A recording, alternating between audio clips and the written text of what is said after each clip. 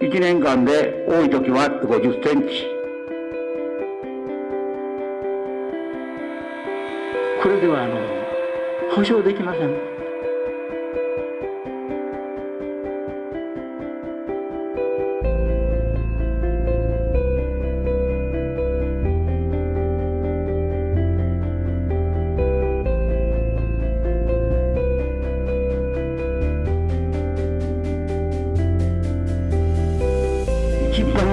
問題になるのは掘った時の地下水のことだというふうに思い水量がむちゃくちゃ多いはずなんです。言うてみたらそれは海の中ですもん。水量はそんな簡単には止まらないと思います。いろんなことをやらない限り杭も打てないということになりますからそれこそ予算は膨れ上がる。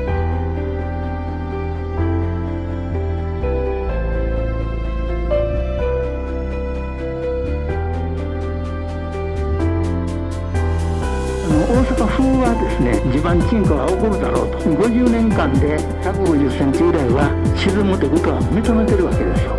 今まで沈まなかったと言われる鉱石層も沈むということで。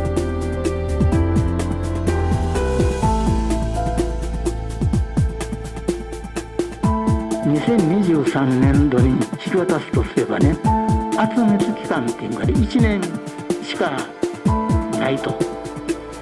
これではあの保証できません。安全な土地を提供できませんよという業者がそれでもいいんですかということを公安局に聞いてるんですよ。